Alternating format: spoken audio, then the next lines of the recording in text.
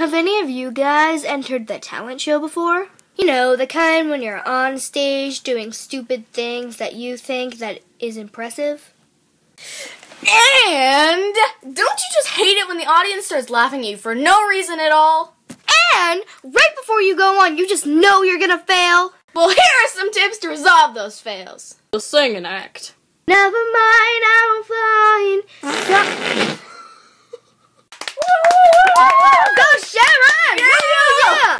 The problem here is that you took laxatives before the show. The dancing act.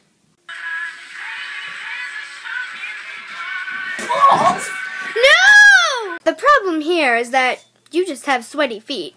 Always make sure to get a towel and dry your feet off before you go on stage. Gymnastics act.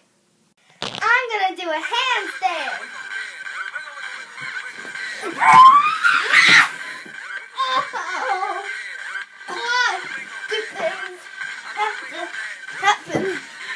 This way? Let your friends watch at a distance next time. Another singing act from one of our beloved students. Summer after high school when we first met, we'd make out in your Mustang to Radiohead.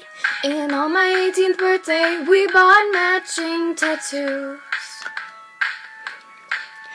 Used to steal your parents' liquor. The problem here is you let puberty get to you before the show. So, if you don't think you can make it in the challenge show, just don't do it. Otherwise, bye turtles!